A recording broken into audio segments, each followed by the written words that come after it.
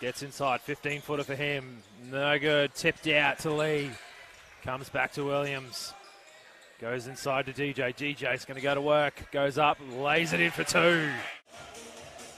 Goes inside. Oh, he does there that time though. Gets the space. DJ's in there from behind, puts it up. Gets the rebound. Dunk goes up, it. dunks it home. Yes, sir. Moran with it goes inside. DJ's got it. Goes baseline. Kicks it out. Medhurst all alone. Puts it in. Catch and shoot threes and floaters. That's his game. We'll see where it all lands. A lot of dust has to settle in between now and the end of this game to know what's going to happen. There's a defensive foul. Get it in.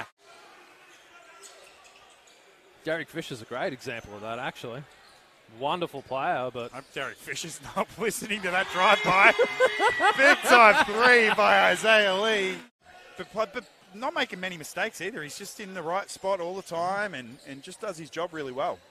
Oh, beautiful inside pass, Moran. Well, he brings it into the front court. Moran hands it off to White. Going back the other way. DJ's got some space inside. Throws it down! That was sick.